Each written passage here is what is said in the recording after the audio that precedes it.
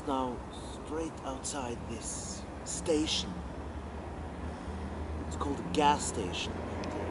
It seems like other vehicles, the non-electric ones, actually they put some kind of fluid into their cars to make them run. Actually, it's quite strange, and uh, I must say it's uh, these cars makes a lot of noise, and also they, I heard they actually pollute quite much. Anyway, it's a strange thing. I've never seen this before. But uh, actually, the nice thing about it is that actually it fills up on the juice very fast. So the cars can actually go from zero uh, in their storage of power to maximum of storage of power in just a few minutes.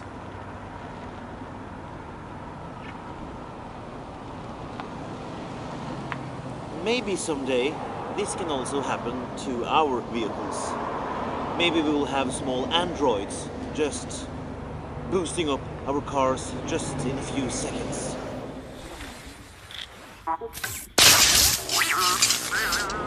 But it is actually one kind of liquid that we have to fill into our cars.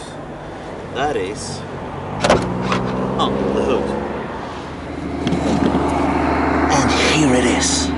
This little blue cap is actually the only entrance for any liquid in the car for us.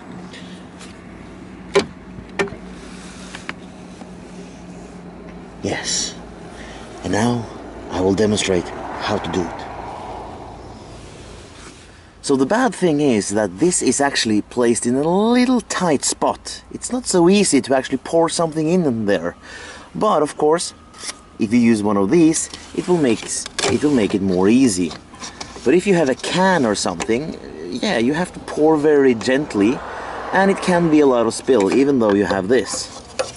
But luckily, some people have thought about this and made a bag. So, makes it actually way more easy to fill the liquid inside. And what we're talking about, of course, is the wiper fluid.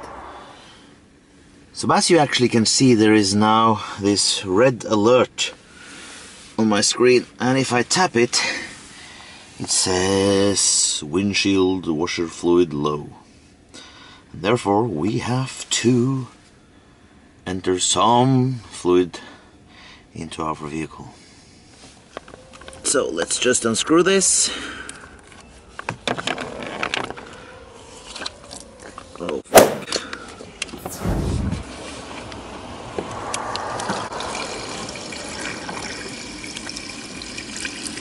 And in it goes.